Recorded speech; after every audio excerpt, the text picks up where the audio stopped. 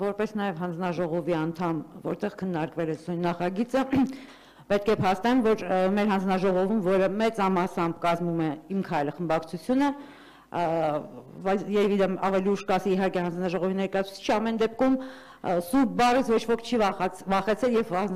այս կոնկրետ այս նախագիծը հավանության է արժանացել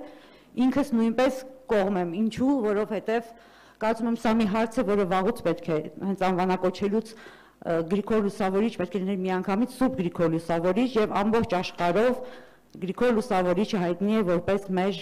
եկեղեցու հիմնադիր, որպես քրիստոնեության կանթեղ, որը Հայաստանը բերել եւ կրոնը դարձրել պետական կրոն։ Ես պարզապես ուզում եմ թե այսօր, թե հետագայի համար խնդրել իմ գործընկերներին երբեք ու երբեք չդարձնել ռոպագանդայի եւ սպեկուլյացիայի առարկա այնպիսի գաղափարներ, ինչպիսին է սրբությունը, հայրենասիրությունը,